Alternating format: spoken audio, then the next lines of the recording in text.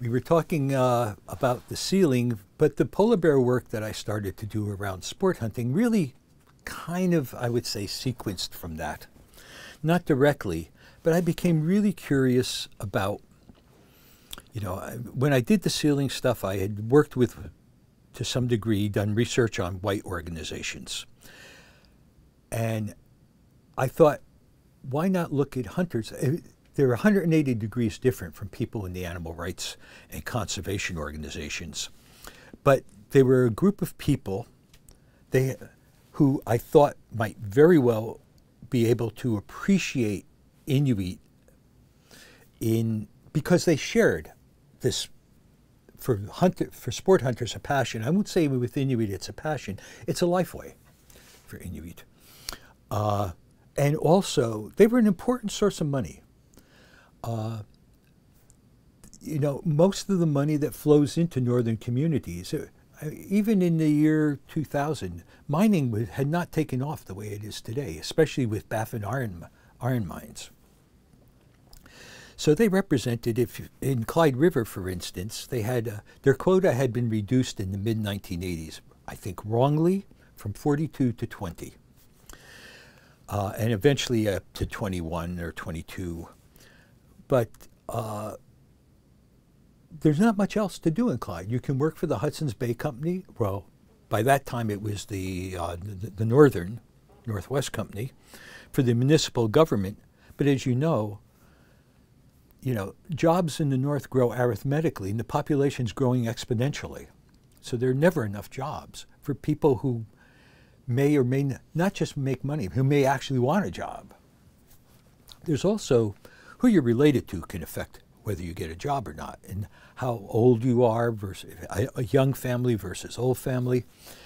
Anyway, uh, I thought, well, polar bear hunters bring in a significant amount of money, and Clyde would sometimes sell eight to ten of its polar bear tags at twenty thousand dollars a pop, two hundred grand when it was going to people who probably, in some cases, were only drawing welfare and family allowance you know, it gave them a lot more latitude in terms of what they could spend money on. They didn't have to, basically, when you're living family allowance and welfare, there isn't enough money to buy gas and parts for machines, for instance. You're, you're living out of the store. But when you can hunt, you know, you have nikituin, real food, which then ties into the sharing as well. You can always get food, but I think everyone likes to also be a giver from at least from time to time.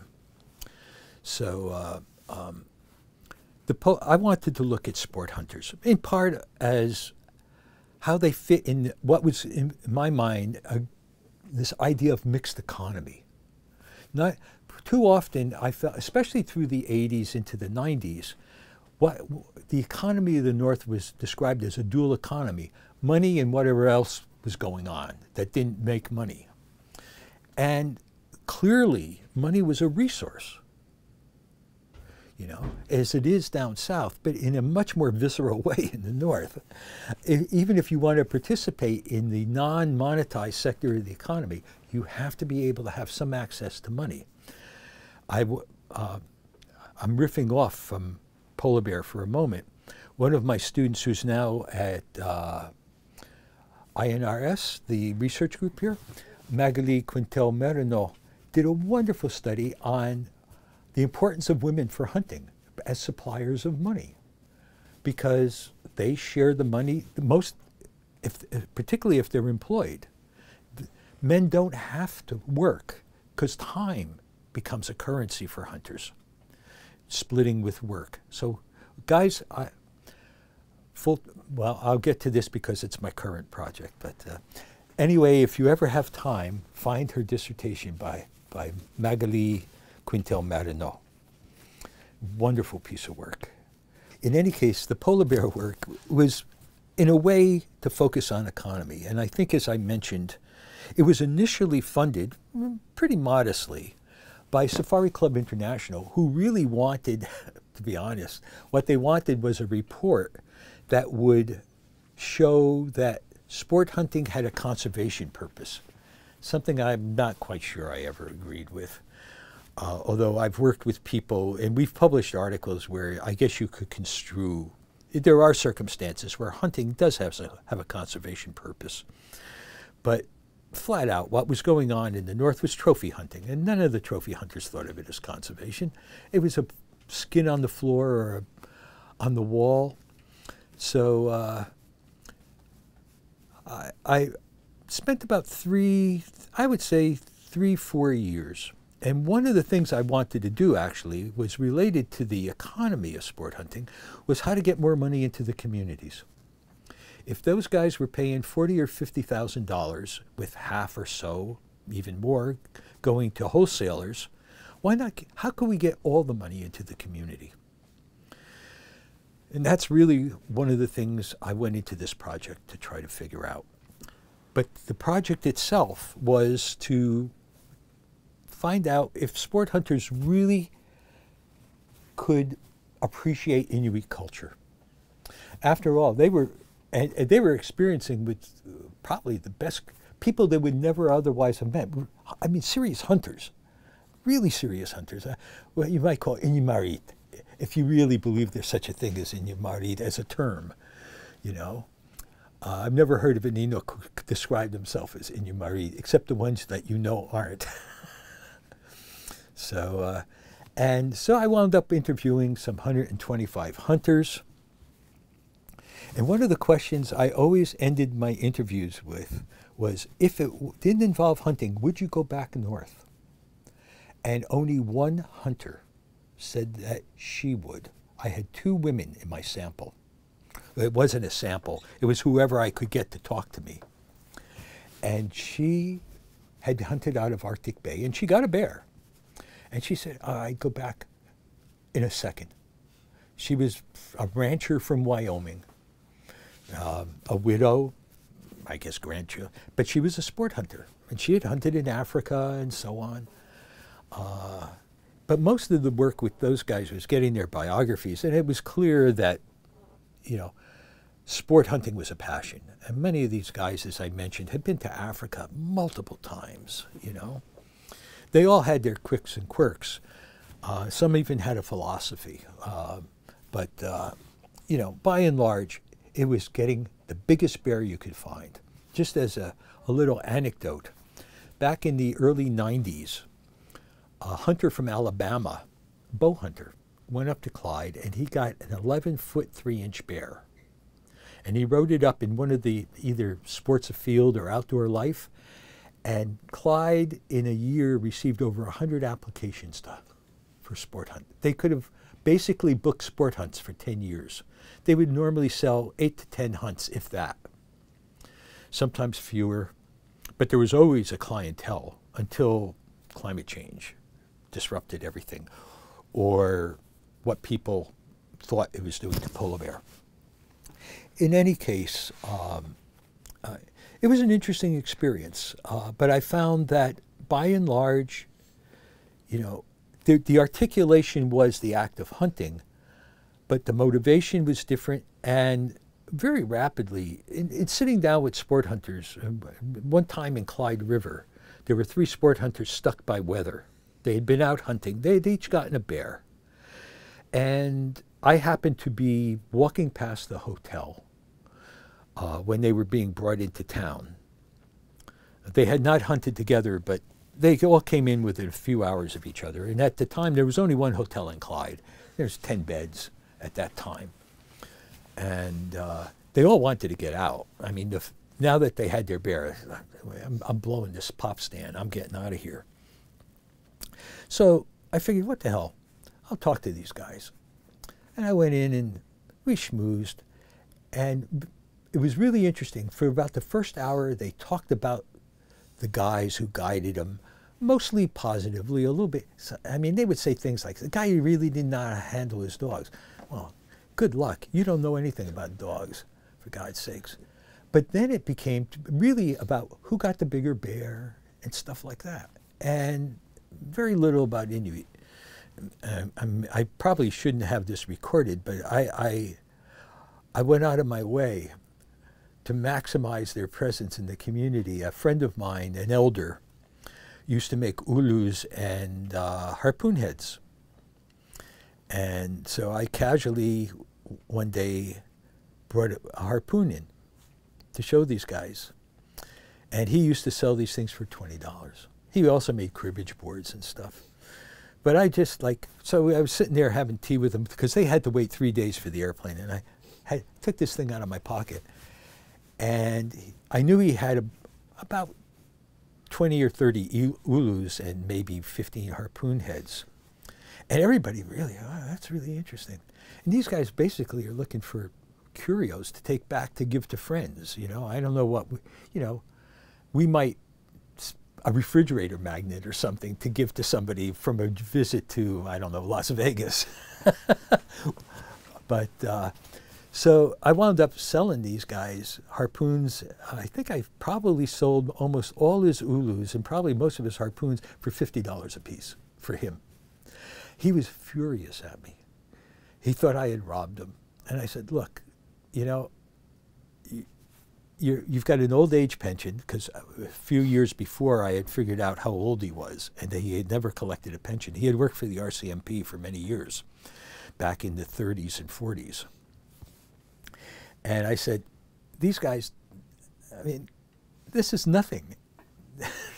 this is not money to them. These, these are playthings. And he really thought that was strange. But anyway, he forgave me.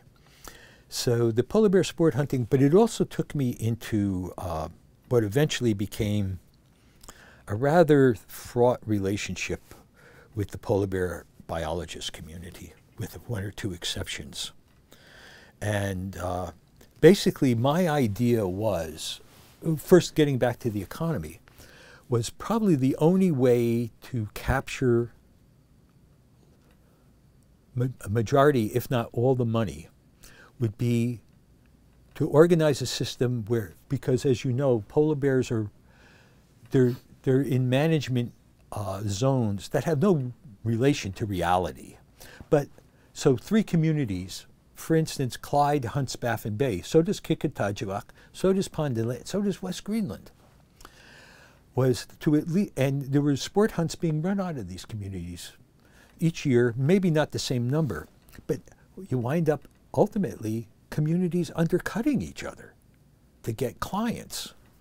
My thought was, why not run it like an eBay auction? Put it on computer.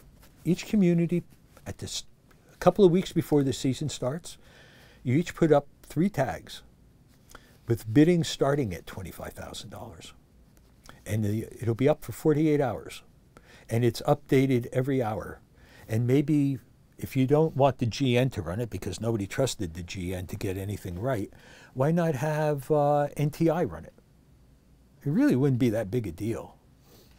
And they probably have greater technical skills. But the thing was to keep communities from trying to undercut each other to get clients and to capture as much of the money, except the airfares, that could be brought into a community.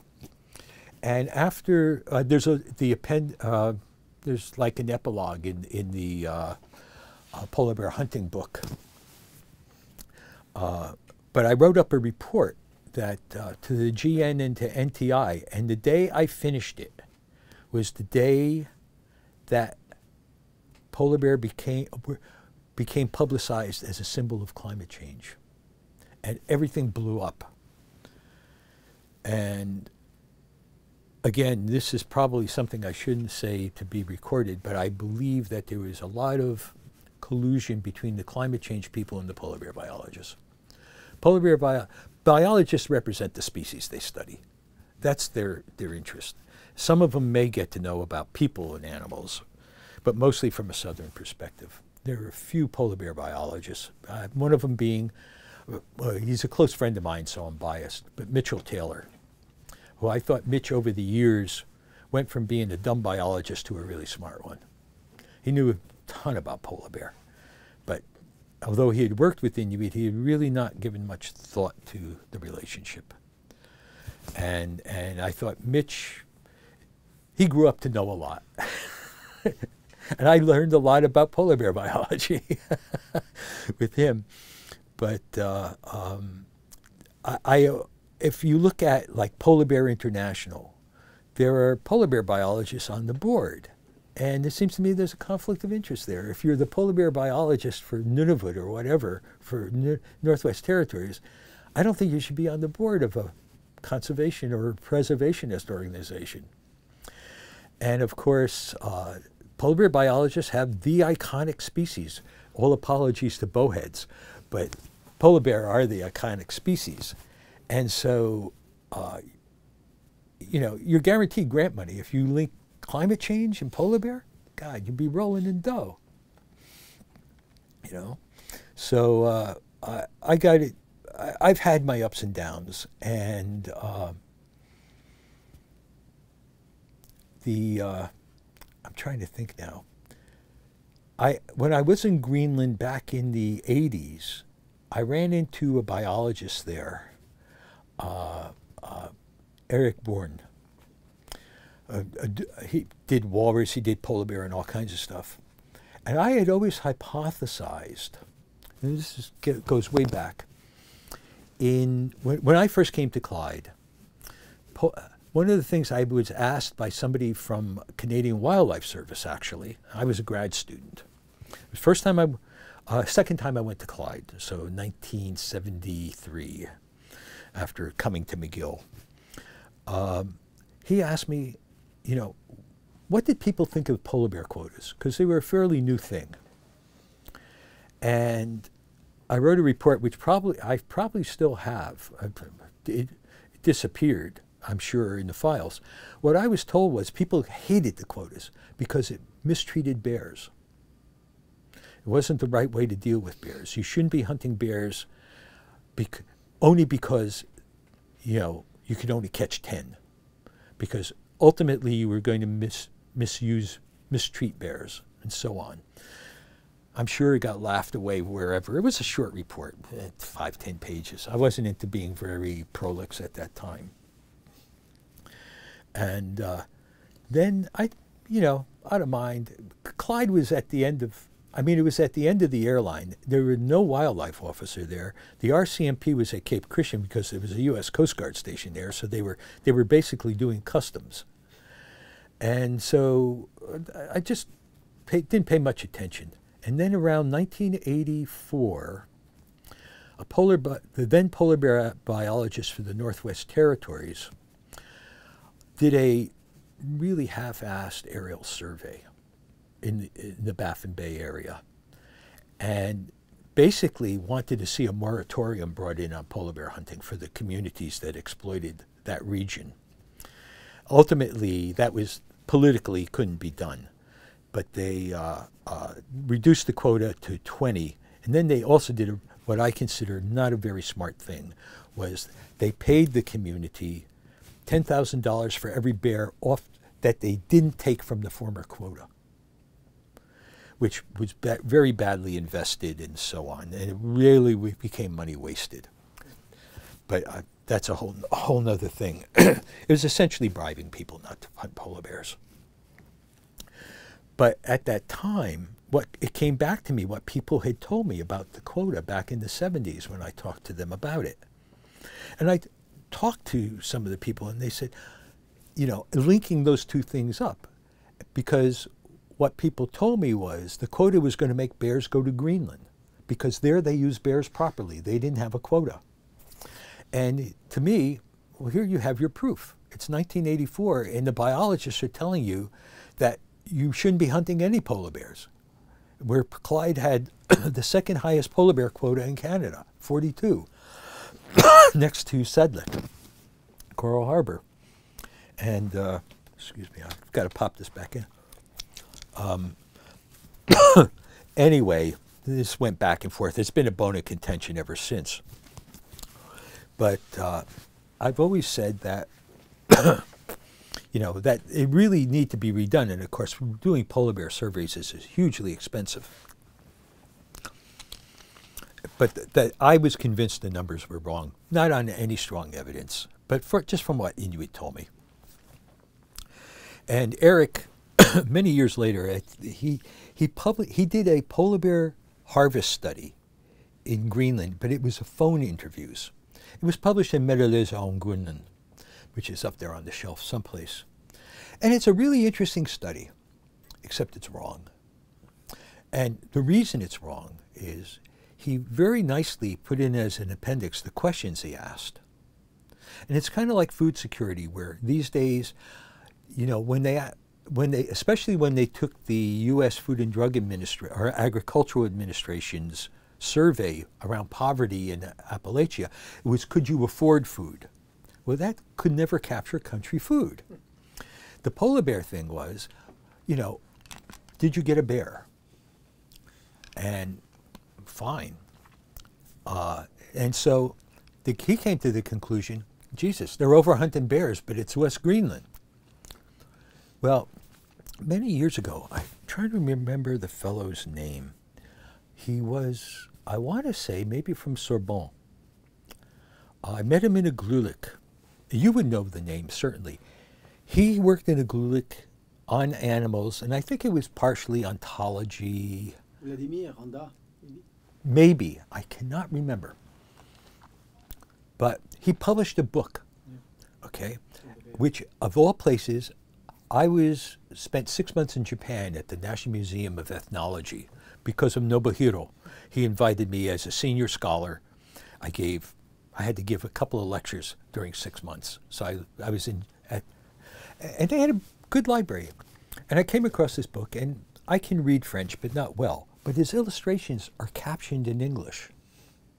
And if you look closely at Polar Bear, for instance, the first three guys who catch the bear, help cut up the bear, can claim the part of the bear. So uh, Born was asking people if they caught a bear. It could have been three guys with the same bear. But the question as, isn't worded that way. It's, did you catch a bear?